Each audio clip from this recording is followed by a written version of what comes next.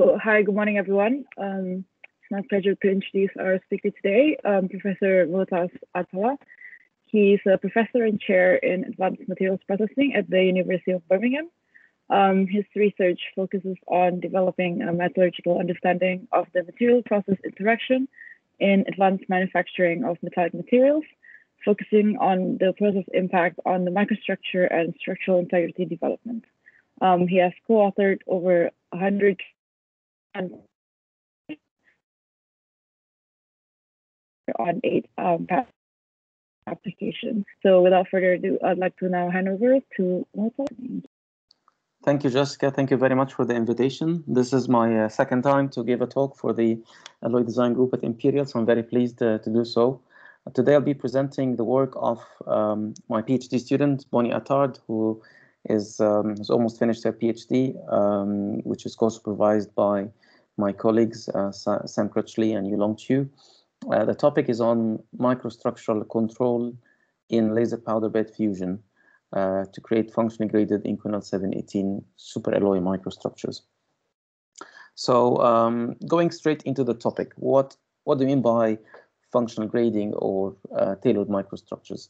And people for quite some time in material science have been thinking about the concept of grading the properties. If you have, for instance, a structure exposed to high temperature at one end, low temperature at another end, can you find the structure where we buy have, for instance, columnar grains at one end and um, uh, for in, or fine grain at one end, for instance, to give us tensile strength and low cycle fatigue. And then on the other end, we have coarse grains to give us creep and fatigue crack growth resistance. That idea is, is extremely interesting in material science. People have done it using different materials. So people try to grade, for instance, from one alloy, let's say from titanium alloy, into another alloy like an niobium or uh, molybdenum alloy. But then what if we can do that functional grading by additive manufacturing? Uh, that will be the concept, basically the concept of what we're trying to do in, in, in this work. So uh, is there a potential application? In fact, in fact, there are already uh, applications that use dual microstructures, as they call them. And that, that example is the so-called dual microstructure disk. And what you see is that in these dual microstructure disk, you have in the central region, which is exposed to more fatigue loads, you have high fine grains, so high tensile strength, and that can give you also low uh, cycle fatigue strength. And then on the external part, you have much coarser grains. Uh, and these coarser grains, of course, are better from a creep resistance. And this is where the hot end is at, at the other end. Now, this is achieved through a very complex heat treatment and forging schedule. So you plan your forging, you plan your heat treatments in order to be able to achieve the dual microstructure so that you can tailor it to different locations. Now, additive manufacturing gives us the potential to do this in a more effective way because we have a control on the grain size at its very early stages, actually, during solidification.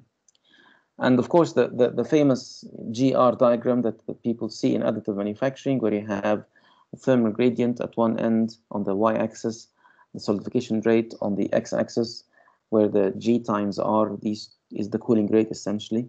So what we can see is that you can change the type of uh, microstructural growth from columnar to equiax to cellular to planar based on playing with the cooling rates and also playing with the thermal gradient and solidification rates. And this is the way, the core of what we're trying to do. And people call this the holy grail of additive manufacturing. If we can use the process at this stage to be able to give us um, the grain structure we want in order to get the properties we want at a very early stage. Now, people have done microstructure control in different ways. So in electron beam, uh, uh, Suresh Babu and his colleagues, they uh, used electron beam where they changed the scanning strategy and they changed the points between the heat sources in where they were working using the Arcam system to generate the word DOE, essentially, you know, just to get more money from them. And then uh, we have done something similar using direct laser deposition. This is the uh, work of my PhD student, Lakshmi Parimi, where she uh, used direct laser deposition. And in that case, she changed the laser power to achieve fully columnar grains out of Inconel 718 or fine columnar equiax type microstructure using also the same alloy Inconel 718. So in theory, for the same alloy, you can generate coarse grains if you want. You can generate fine grains if you want. The only factor here that you can play, or the one of the factors you can play with is the power. But of course, there are too many factors to play with in order to generate that controlled microstructure.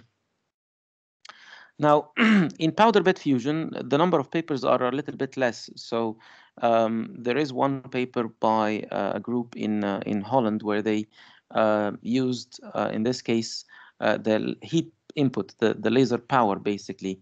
So they changed the laser power from one end where they had much finer grains and then they moved into higher heat input, 950 watt to give a much coarser grain, then back again to give a finer grain. So the heat input was here a good you know, uh, parameter to uh, to be able to control the microstructure and to give that dual microstructure by by the heat input in powder bed fusion. So the question is, nobody has looked into the scanning parameters. So scanning strategy is one of the important parameters that control the properties and behavior in additive manufacturing. And also the concept of the energy density. Um, the variations in energy density can also give an important uh, influence on the microstructure as I'll show you in, in, in this work. Now, the problem is that in, in, in additive manufacturing, the control of the microstructure is, a, is a, an outcome of very complex interactions. The physics of the process is too, too sophisticated to be explained by the classical theories. We are playing with issues like melt pool turbulence. If you give too much heat, that can induce nucleation, can cause grains of different sizes to form. Heat transfer modes can, can, can be very complex to explain sometimes where you can move from conduction to keyholing. In fact, you can still get keyholing and conduction for samples made by the same energy density. Although it's the same energy density, you can get completely different microstructures and different even consolidation behavior. The nucleation events that happen in, in additive manufacturing can be complex because you have also surrounding to the liquid, there are loads of powders floating around and flying around. So that can also cause you know nucleation events to happen while you're trying to make something in that process. Um, there is obviously heat accumulation and remelting events. Every time you, you build the layer, you are remelting the layer below. In fact, we find sometimes that we remelt up to 10 layers below the 20 or 30 micron layer we're adding. So that there are very complex interactions that are way different from what we see in casting or other techniques. Cooling rates are of course way uh, you know faster than what we can see in any other manufacturing technology potentially. Maybe maybe similar to split casting. Our estimate is that it's 1 million degree per second which is which is quite fast of course. So the classical theories they sometimes do not apply here in what we're trying to explain finally scanning strategies I, I will talk about that in details but it's it's one of the things that we need to keep in mind when we try to use additive manufacturing and that's because the scanning strategies to date are not physics inspired, they are not science inspired, they are only geometry uh, inspired by the manufacturer of the different additive manufacturing platforms. So the aim of this study is essentially to manipulate the microstructure and its gradation through microstructure engineering using laser powder bed fusion. Now, how we do this? First of all, we try to find a processing window for Inconel 718 Inconel 718 is a nice alloy in additive manufacturing literature because you can find a lot of parameters where it will give you good density. Typically, people in the past would do the optimization, and then once they find a condition that has very high density, very low porosity, they would say, oh, that's the optimum condition, and they will stop. What we have done this time is that we found more than one condition that will give us high density, and then we compare them to each other as I'll show you uh, later. Second factor is that we look into the influence of the parameters and the scanning strategies on the texture. So we try to see how the texture evolves after we make all of these samples, how it evolves, how it affects the microstructure, how it affects the solidification um, structure as well. So that basically gives us an idea about how in a dense condition, we can get variations between one condition and another. The fourth parameter is that now once we can obtain samples with good density, but with different microstructures, we try to look into the mechanical behavior of these graded microstructures uh, through the use of digital image correlation, and I'll give some some pre-results on that. Second thing is that to look into the uh, influence of microstructural grading in, in high temperature conditions of testing. This is a little bit pending, so I'll give some glimpse of that. And then finally, look into the effect of grading on the oxidation behavior of the material. And that's an important factor that we, we can also consider by this approach. So the work was done on our uh, Laser M2, which is the, the workhorse of, of our lab. Um, the powder was conventional gas atomized Inconel 718 powder, nice spherical powder. The initial experiment was had a target of finding as many conditions as possible that have high density. So we scanned a wide range of laser powers, wide range of scanning speed, hatch spacing, and so on. And the, the nominal condition is what we call the uh, island perpendicular strategy.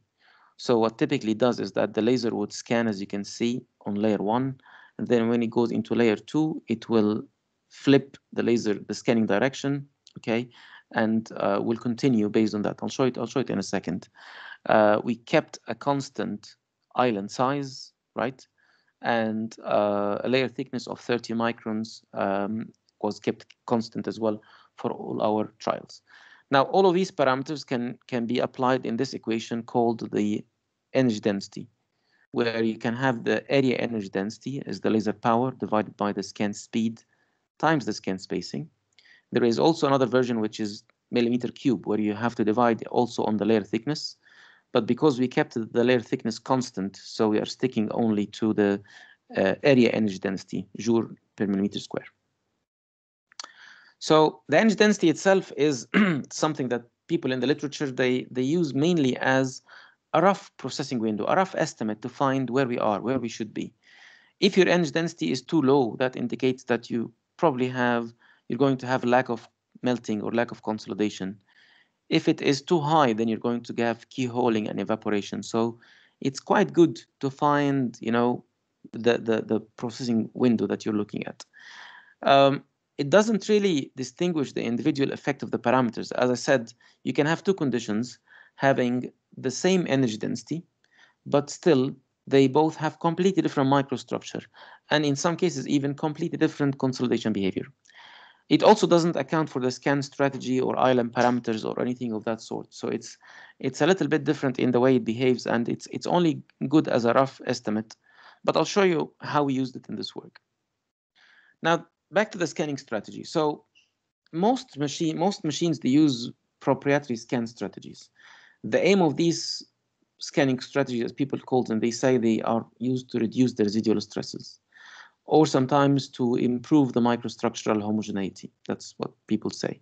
So there are different types of, of scanning strategies. Each machine has its own clever way. So uh, there's the island scanning, like what I'm showing here in A. That's that's the common one we use in in, in Birmingham, where you have one layer and then you you you change the laser scanning hatch by 90 degrees, and you move a little distance in X and Y as with every layer you're moving.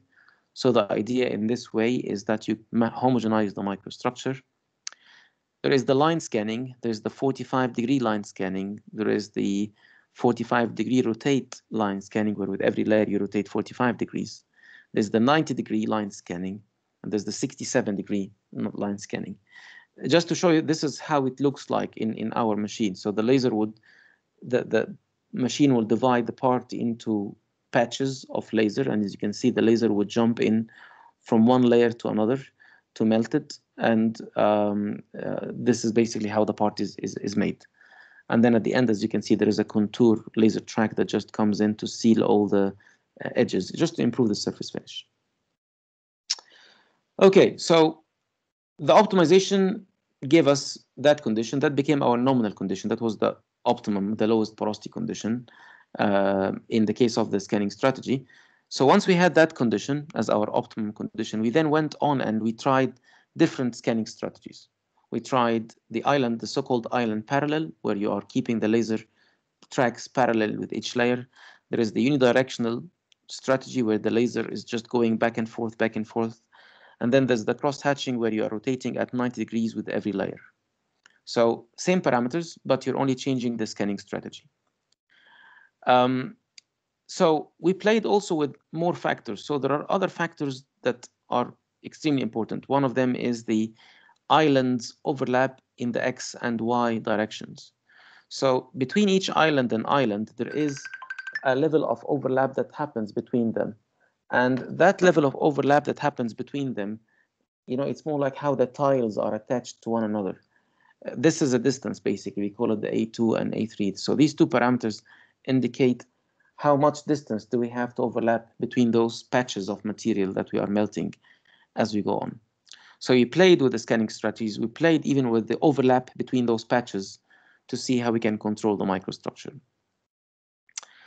Um, so yes, that's the that's the the overlap, and then we played also with the island size. So this square is the size of the island. So that island can be one millimeter, two, three, five, seven, whatever size you want it to be. Every time you change the size of the island, of course, that will affect the thermal fields because you heat up. By the time you reach the other end, that part would cool down. And then you come back. By that time, that part will cool down if your island is big. Whereas if your island is small, then the thermal heat is retained actually in, in, the, in, the, in the single island. So we looked into the effect of the island size. Well, how, how long does the laser have to travel in each of these patches um, of the build? So yeah, so I explained island overlap, island shift, also with another factor, how much each island would move in or out. So usually there is a shift between each layer and another and that can also affect the, the homogeneity of the build and the shape of the microstructure you're generating. Right, let's go into the next point. So, so that's, that's the key point we, we wanted to highlight.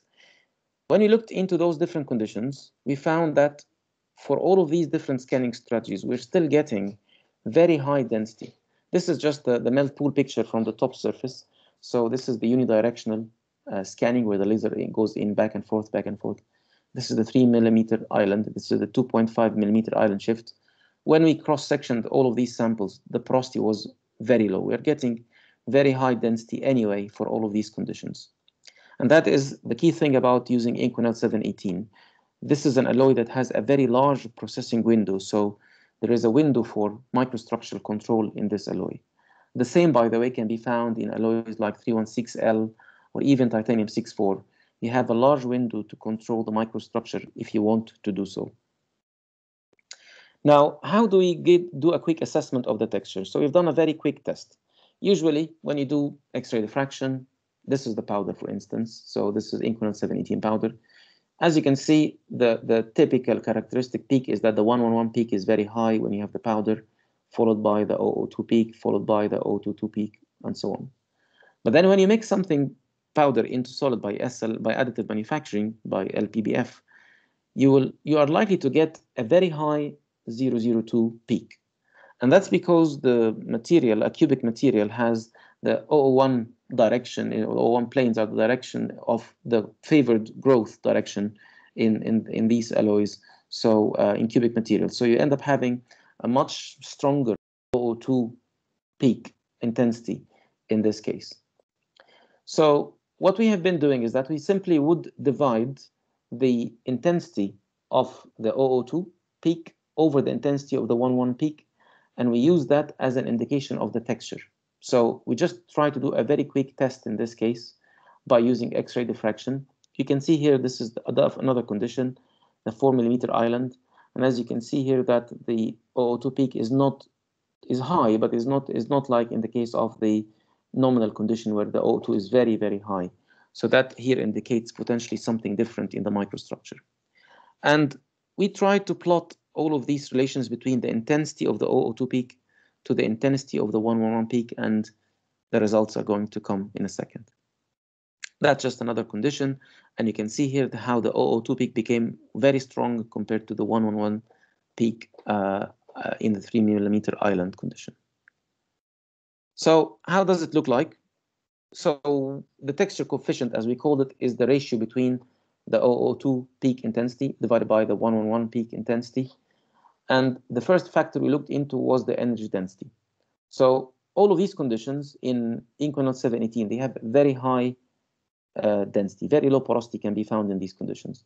But what you can see is that that texture coefficient will vary where you have your most texture condition, where you have a lot of columnar grains, most likely is going to be at such a high energy density.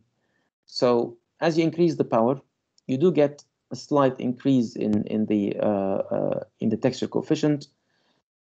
When you increase the when you decrease the hatch spacing, which was another factor, there was another moderate effect. So if you're comparing those three conditions, this is the change in texture due to the uh, change in the um, uh, hatch spacing, the overlap essentially between the layers. But if you decrease the speed, you get that effect. So this was 2000 millimeter per second, 1500 millimeter per second, and you can see that there is for for the same laser power, and as you can see that the texture goes uh, very high, or the texture coefficient to be precise goes very high. Now we've done now the same comparison, but in this case with the different scanning parameters.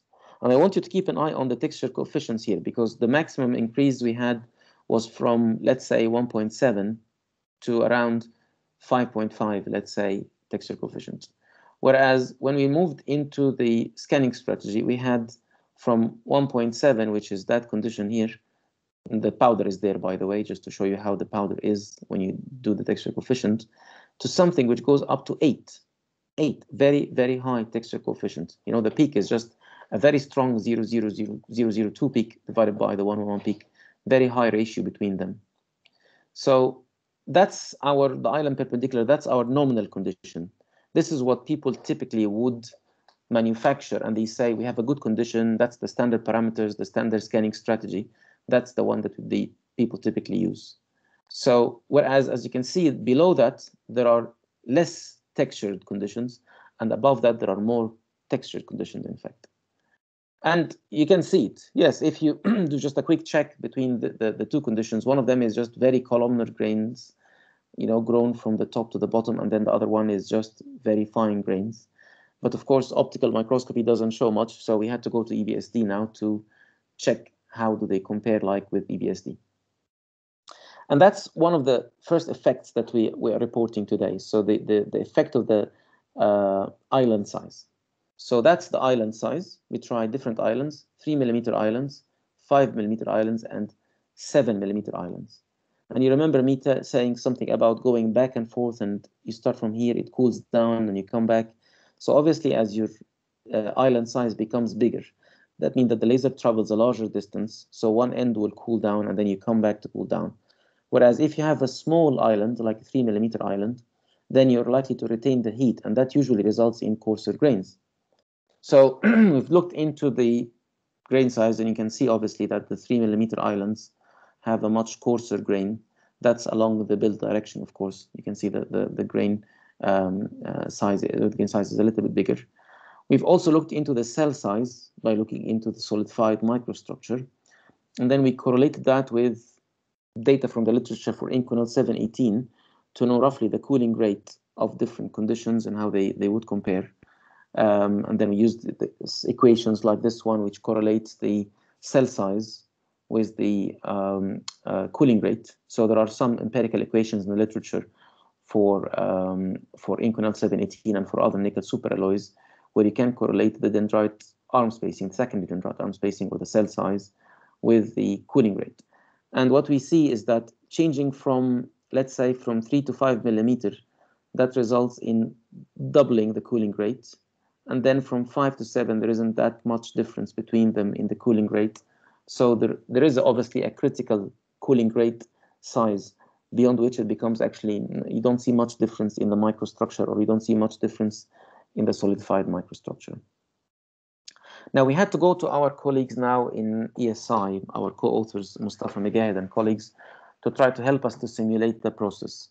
So the, the, the, the problem in solidification modeling is that it's too complicated for something like additive manufacturing where we have very high cooling rates. So one problem they had was that first of all, they had to tweak and calibrate the parameters of solidification and in a melt pool. So let's say what you're seeing here, there, there is a melt pool at, a different, you know, time steps. So from here to the, to the bottom there. And what you're seeing here is that they tried to tweak the uh, density of nuclei. So Ng is the nuclei density. And that's, in a sense, is, in full honesty, that's the fudge factor here you're trying to, to do. You're trying to uh, understand a problem which is very difficult to relate. So try different assumptions, and then based on these different assumptions of the nucleation density, we went on and we tried to calibrate that by experiment. So they're basically, they did different process parameters, or we did for them different process parameters, and they tried to cal- to correlate their observations of two single tracks, as you can see here. So this is one laser track, and that's the laser second laser melt pool.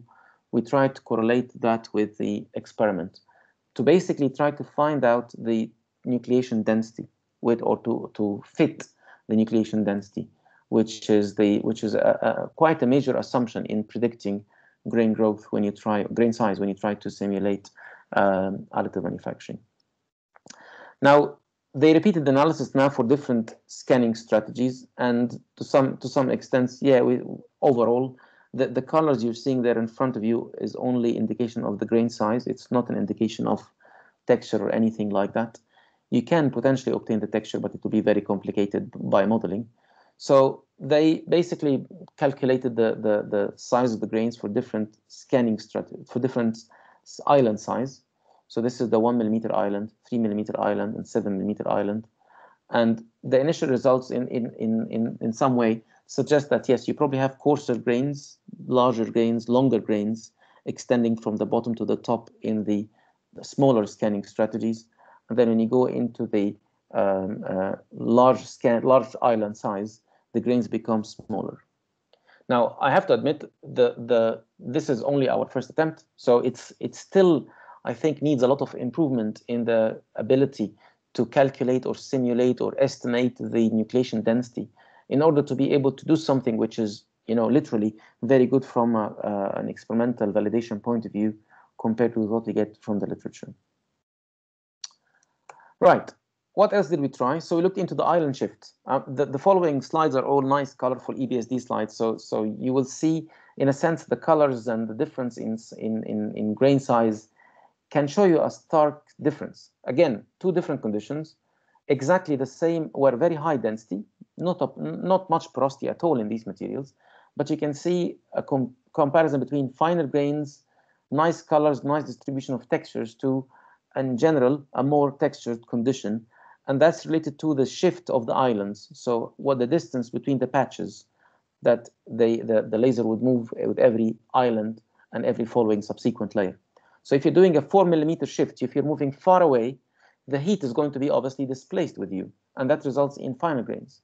Whereas when you're doing it with one millimeter shift, the heat is retained to some extent, so you end up continuing seeding on the same previous texture and also keeping the heat in the build. So that's basically the, the concept of the island shifters in a more colorful way. So that's layer one, that's layer two, that's layer three. So that's the XY movement of the um, of the island with every layer, and you can see a stark difference between them in the texture and in the shape of the microstructure. Now, one other thing we tried was that our machine in Birmingham can have uh, we can heat the bed. So we we modified the machine to uh, be able to heat the the plat the, the substrate. And the outcome again is some differences we can see here. So this is the optimum condition nice optimum condition but then we switched on the heat in the bed. And as you can see there is some indications of recrystallization happening still waiting to be confirmed but there is some indication of recrystallization happening compared uh, and, and coarser grains of course compared with the case of the as fabricated condition without the heat. So the thermal effect that we have in the build can potentially also lead to other potential benefits in terms of unifying the grain structure, getting getting a more equiax grain structure or so on, if the temperature can be tweaked to an acceptable level to initiate nucleation or to initiate, sorry, uh, recrystallization. Now, the key thing is that Inconel 718, as you know, is is a heat treatable Inconel, is a heat treatable superalloy. So you must heat treat it. So when you look into it in the as fabricated condition, you find lovely niobium rich rubbish on the cell boundaries. So these things, we don't like them. They, they are a mixture of delta with Laves and all sorts of other things that along the boundaries. So we need to homogenize that microstructure. The problem here is that if you go into a very violent homogenization treatment, you will basically destroy your grain structure. and we want to see if we can retain the grain structure. And the good news is that, so we've done the solution treatment of Inconel 718, which is at 980, water quenched, and followed by the double aging. So that's the that's the standard heat treatment in, in nickel superalloys. So 980 is, is, is all right, it's not, it's not too hot. The good news, the really, really good news is that the microstructure has been retained. So, or, or if you look into comparing the grain structure, the as-built structure versus the solution-treated and aged structure, the microstructure has been retained. So we did manage to bring back the, dense, the, the, the strength of the material, dissolve all the solidification byproducts. All of that niobium has gone back into solution, and we have now a uniform microstructure with high strength into it. So now we moved into the final step of this of this initial investigation. Can we now make a component which has two different microstructures? So instead of writing EPSRC or something like that on our uh, on a blade, we decided to um, uh, to build a blade that has two different microstructures. And basically, we used the two extreme conditions we have. On the bottom there, we used the four millimeter island shift and on the top there we used the 3 millimeter island size with an interface between them and the blade was built as you can see two different microstructures two different microstructures different grain sizes and of course more interestingly different texture so you can see here that the blade itself has a very strong 001 texture as you can see which of course will have other impact on in, on modulus and other factors um, and the, uh, the, the blade itself, the fir tree root itself, it does have a strong um, 001 orientation still, but the grain size is different.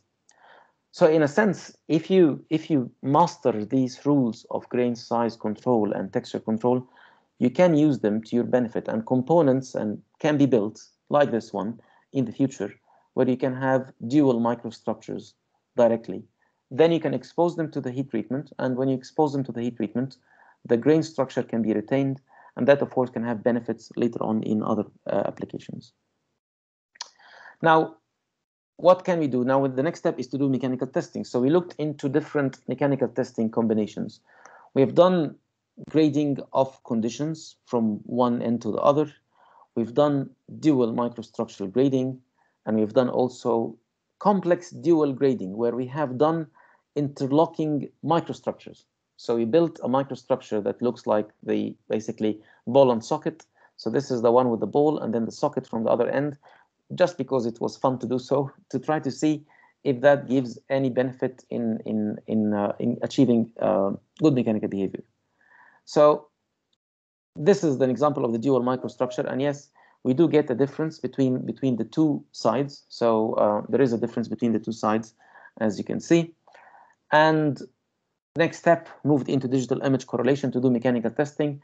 I'm not going to go into too much details because this is still work in, in, in progress, but you can see how the two different parts, they differ in the way they strain. And of course, the fracture happened at what one of the ends. So you do get that kind of differential microstructure if you want to do so. And this is the interface between the two uh, sides of the samples. Okay, now part of the work which is ongoing, just to, to indicate, is that we have also looked into the influence of that microstructure control on oxidation resistance. There was a paper published in 2014 by uh, Dongdong Gu from Nanjing University, where he looked into the influence of the heat input on the oxidation behavior. And he was able to show that certain conditions, certain builds, can have a much better uh, oxidation resistance based on the microstructure, of course. I mean, it's in a sense it's complex because it it's based on the grain size, the texture, and the chemical homogeneity of the samples. So some of our initial work, which is what you see here, looked into oxidation uh, resistance. And again, what we're seeing here is that we're getting a lot of different conditions with different oxidation resistance that we're still struggling to explain. So one condition, the four millimeter shift, the top one, which has very fine grains, has a very high oxidation resistance on the X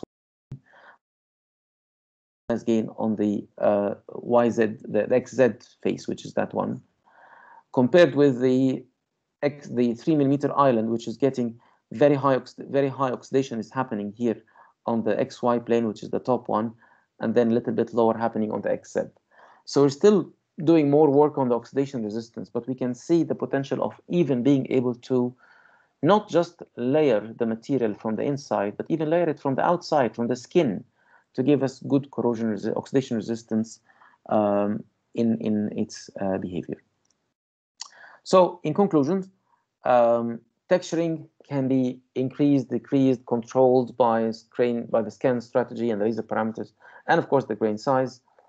And of course, the the the highest and lowest text texturing effect, especially, was obtained when we controlled the island scan strategy by changing the shift and changing the size of the islands. You, you saw that we tried to to find a heat treatment that does not remove the texture, only is used to dissolve carbides or or niobium-based phases, but then retain the grain structure at the end. Um, and then after that, the grain structures, structure, microstructures were produced with different scanning strategies. And as an outcome, we saw that it does have an impact on the mechanical and the oxidation behavior, but that's still ongoing and uh, yet to be uh, assessed. And I guess I've done around 30 minutes, so I'm going to stop here to give some time for questions. And maybe if Jessica allows me at the end, I can I can give like five minutes of view about my group, just to see if that uh, can help with some collaborations. Thank you, everyone.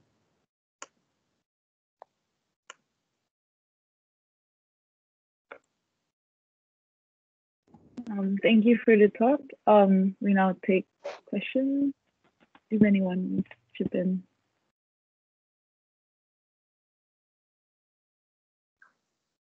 Okay. Someone has a question, yeah. Yeah, thank you very much, um, Moataz and Jessica. Um, thank you very much again, Moataz, for a very nice uh, and very interesting talk. Uh, clearly has a lot of work has been done um, since the, the last time you gave the lecture to the to the theme. Um, my, my my question is when you only selected about the OL1 big mm. and normalize that with 111 big. Mm. Um, we we know for the cubic normally we have a strong OL1 uh, but sometimes we see the 011 also increase. Yeah. in particular for like a 316L or other FCC alloys as well. So so my, my curiosity is have you also looked into 011 big to see whether I mean not like a 011 is increased but also O increase to some certain extent that might be lower the texture for 001. Um, yeah. Yeah, yeah, so just very good question. Very good question. Yes, uh, indeed. We we we the, the the thing is that at the initial stage of uh, looking into columnar growth, we looked mainly into these two peaks. But then we also looked into the uh, 022 peak. The problem is that we could not see clearly effects. You know, we saw just scatter of data, and it's potentially because the, the intensity is very low anyway.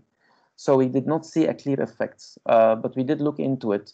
I think XRD, as you know, as um, as a way of doing a quick assessment of texture, is is not the the the is not something very detailed like EBSD, where you can see then the the 011 peak, which which you're right in in cubic materials, we still see some you know strange effects sometimes mm. with different conditions.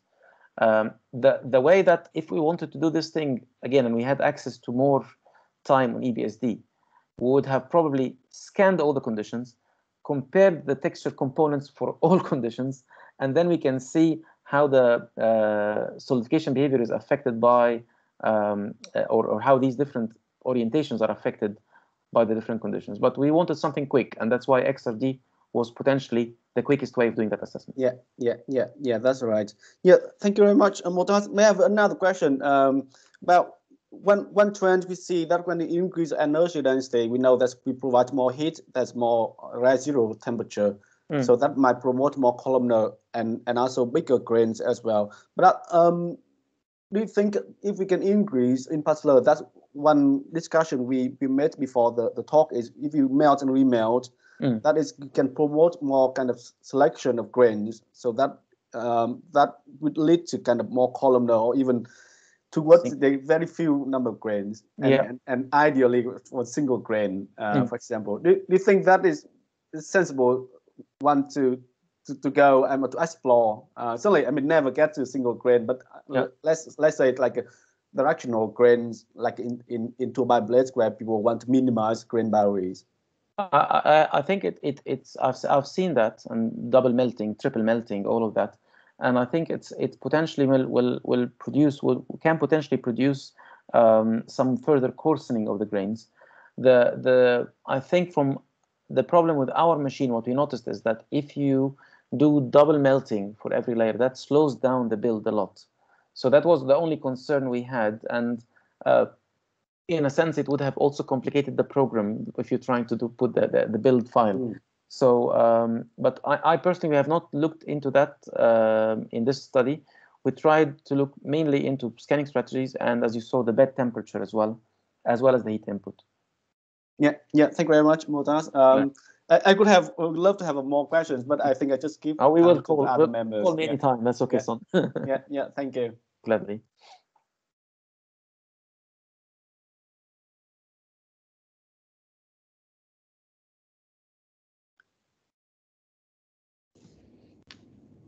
Hello. Hi, I just wanted to say uh, thank you. Um, and thank you for uh, for giving a seminar today. Gladly. This was uh, very interesting. You work on oxidation, right, or something related? Yeah. yes. Okay. So uh, so that's the thing. So if you if you want to control oxidation, let me know. We probably have some clever tips to uh, to see what we can do. Yeah, that would be interesting. Actually, there's quite a bit of potential for collaboration. I'm doing quite a lot of work on superalloys and also on like optimizing microstructure and the effect of alloying additions on microstructure. So there's definitely lots of potential for future collaborations. Brilliant. Just give me a call anytime. I mean, obviously, we, we have been looking into publishing more papers with Imperial. We we've done some work recently on XPS uh, with um, with you through the Henry Royce Institute with one of my postdocs, yeah. and also uh, with SunFam. We hope we, we hope to publish a couple of papers in the future with Alessandro.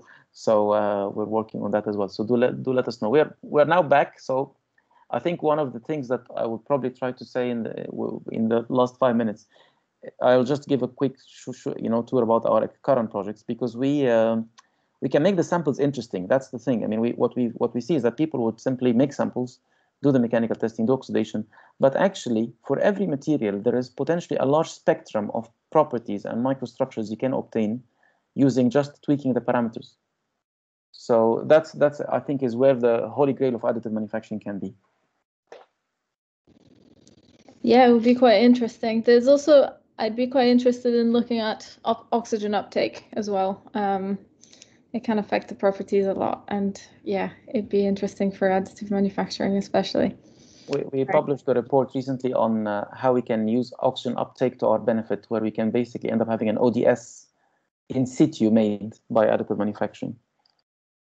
So if, if really you use a, yeah, if you use an unclean gas, basically, if you use an argon with some oxygen or even with some nitrogen or carbon, people have looked into doing that to be able to create ODS in situ.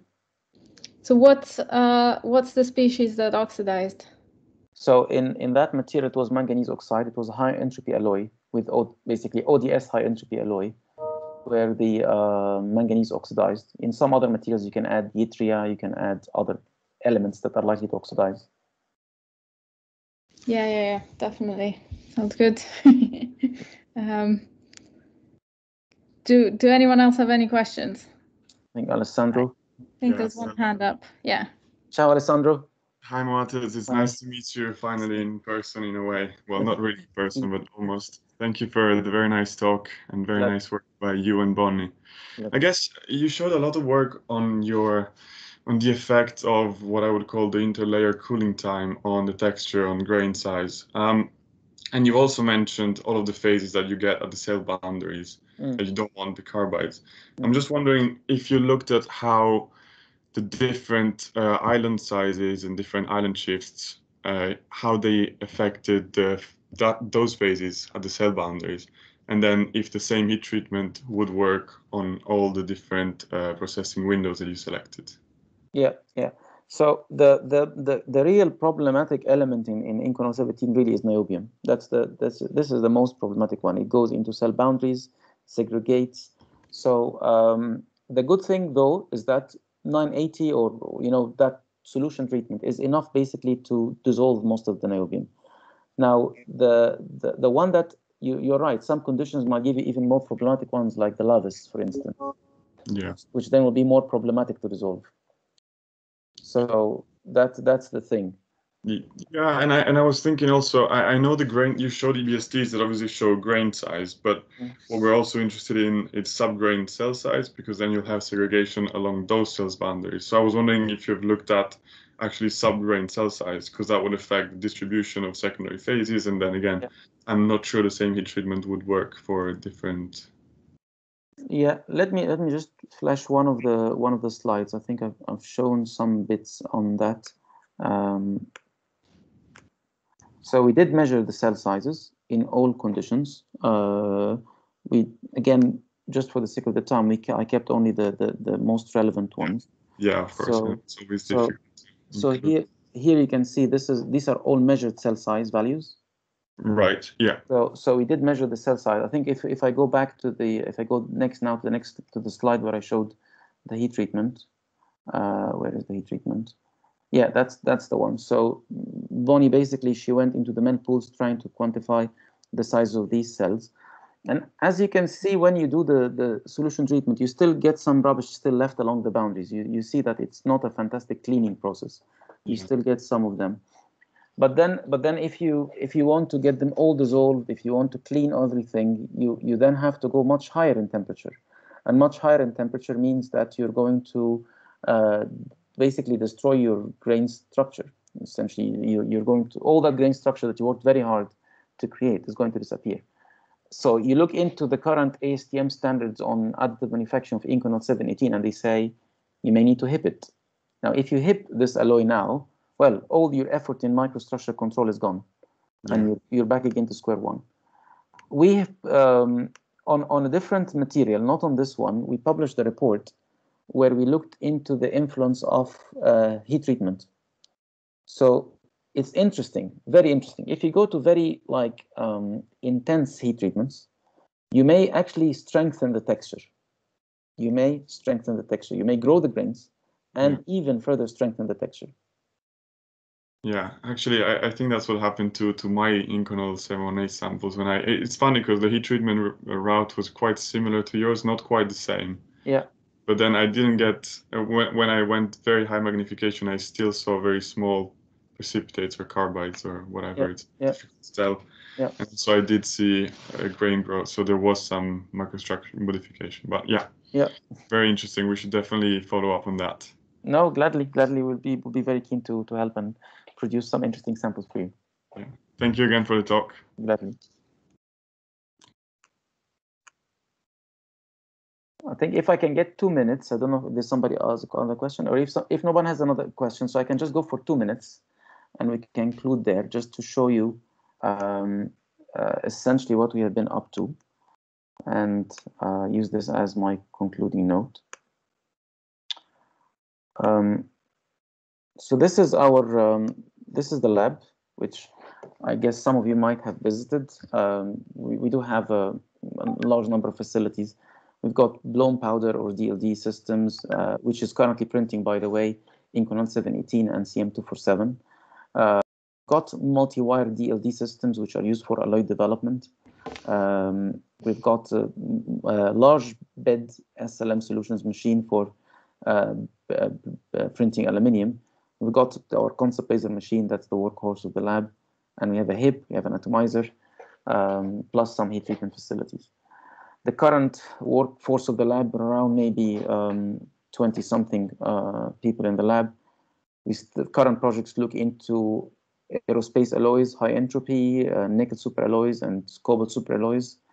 There are projects in the motor racing front, and then uh, projects on the space front, where we do a lot of work on space actually with ESA, European Space Agency, and the UK Space Agency on niobium alloys. Not sure if anybody works in niobium, but if you are, get in touch. It's very interesting. And um, low CTE alloys like aluminium silicon and Invar. And then in defense, we do a lot of work on uh, functionally graded materials by hipping and additive manufacturing.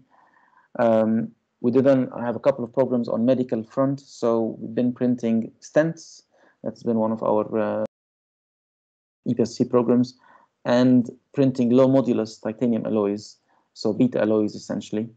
And then finally, we've been doing a lot on magnetic materials recently. So printing soft magnets, printing magnetocaloric materials that are materials that change temperature when you apply a magnetic field, and then magnetic smart materials that will move when you apply a magnetic field into them. And then more recently, ceramics 3D printing uh, using a new machine that we acquired recently in, in Birmingham. Um, the activities, if I can go maybe to the next slide into the one on um, nickel superalloys. This is just an, a quick overview about our nickel work. So I've been doing a lot of optimization of different materials. This is the full list of materials from the most difficult to the easiest. Uh, more work on microstructure control, work on heat treatment and post-processing, work on uh, microstructure development and how it happens, and work where we combine additive manufacturing with hipping. That's on the nickel front. On the aluminium front, we've been doing a lot of work on different interesting aluminium alloys like A2X. Uh, this is a new aluminium alloy doing work on heat treatment and post-processing of these alloys and how we can control the fatigue life. Um, work on lattices, which is very interesting uh, to control shocks or so. And then again, more work on microstructure development. Then currently on titanium, uh, work on additive manufacturing of beta alloys, heat treatment, post-processing, more lattices again from uh, titanium 6.4. And then last but not least, this is now the thing that is keeping me busy most of the time. I've been doing a lot of work on functional materials and functional structures. So we, we've had a large program looking into soft magnetic materials. These are materials that are, are used for magnetic shielding. Very interesting material, very interesting project. Uh, I mentioned the work we did on INVAR and low CTE materials. And then work on shape memory alloys, work on heat pipes for cooling and for uh, um, thermal management in hot structures, work on printing radio frequency devices, which, uh, which is another interesting one, and work on refractories uh, together with uh, the people at Culham looking into tungsten, tantalum, and other elements, as well as work on niobium for space, and then finally on drug delivering implants. Uh, basically drugs that leak drugs, uh, implants that leak drugs from, from inside. So that's just a quick overview. I'm, I'm, I'm probably going to send the, those slides to uh, um, to Jessica just to send them around. But if anybody happens to be uh, interested in any of these materials, just give me a shout and hopefully we can make some samples for you and uh, get a couple of papers published or so.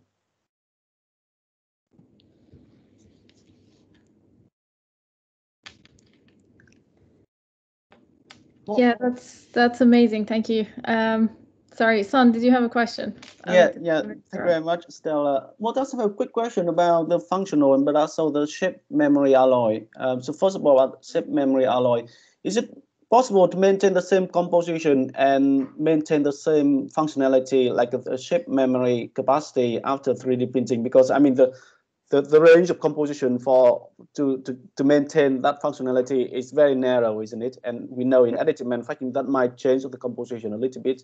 Um, so, so have you tested about the, the, the memory capacity of the alloy after 3D printing? The, the alloy will need heat treatment. That's the key thing. Because you, again, when you do the solidification, you have a lot of solidification byproducts, a lot of intermetallics form, so you must dissolve them.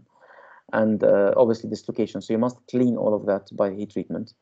The second problem is that in uh, some elements, like in the case of nickel titanium, nickel will selectively evaporate from the alloy and that will drop your nickel content and it will shift your phase transformations. So again, you must actually start with an alloy of nickel 52, titanium 50, titanium 48 to end up with a nickel titanium 50-50 alloy, which is the alloy you want to be dead on. Uh, it's it's not easy. no, it's not easy. There are a lot of ifs and buts and things to do to be able to get the right performance at the end. Yeah. You're, you're muted. Um, yeah, sorry, I, am still on mute. Um, yeah. the, the, next question is about the functional materials like magnetism, magnetic mm. materials. Uh, one one thing, uh, one area I think we, we haven't explored enough is the kind of writing the the the properties, the specific location. So not only about the functional but also structural properties mm. and combined between kind of magnetism and the grain tailoring so mm. like a grain size and, and grain texture as well. So we can write the, the properties, both structural and functional properties to specific location, like the mm. writing in, in like in programming. Yeah. Uh, that's I think that's one area we we, we should explore further uh, as a community. There are papers in uh, in medical implants field where they have managed to control the elastic modulus locally uh, in medical implants in order to reduce the stress shielding. So you can, by heat input in titanium, you can control locally the, the modulus to get it down to 70 maybe, or you know 80 in some beta alloys locally. Um, whereas in the case of um, of ma magnetic materials, problem with magnetic materials, especially the uh, soft, for instance, the soft magnets. Soft magnets, you need to be able to tailor the magnetic axis, which is the, the easy axis for magnetization. So sometimes actually your, your target is to control, to be able to get the easy axis. That's your ultimate target. Otherwise, your magnetic properties will be inferior. So um, th this is the, the, the, our recently published paper where we tailored the magnetic properties just by focusing on getting the soft axis right. So locally can be tricky, can be tricky, but it, it's because you you basically have to keep moving the soft axis to be conformal to your magnetic fields. But we can control the grain texture, because the grain texture would affect the um, the magnetism uh, domain, so that by doing that, if we can control the grain size and grain texture to specific location, by doing that we can control the magnetic domains, hence the magnetic uh, magnetic properties. The soft soft magnets yes soft magnets this is the, the grain size of course and all of these things can be done. We have been struggling a lot to print hard magnets the neodymium iron boron. Mm. they're not easy very very difficult to print. And uh, the magnetic shape memory materials they are printing but they pick up a lot of oxygen which is not good so again we're this is the difficulty we're having with them the um, magnetocaloric materials again are very brittle so they, they are been breaking a little bit. Every material has its own complexity. I think soft magnets are easy. If you have a, a, an application that needs soft magnets, we have the capability to control the grains. We have the capability to control the grain size, I mean, and also control the grain texture uh, because they are much easier to process than the other materials. Yeah, yeah, thank you very much. That's fantastic. Um, yeah, thank you, Moataz, again. Gladly, yes.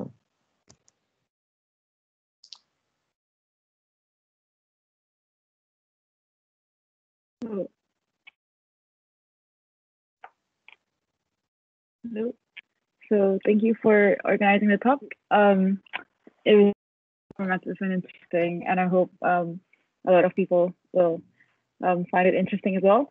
Um, it's past 11 now, so I'm just gonna um, end by saying thank you and um, that um, the session is being recorded, so I will edit it um, and send you the recording. Okay. Thank you, Jessica, for the invitation. Thank, thank you all. Stay safe, and I expect to get. Uh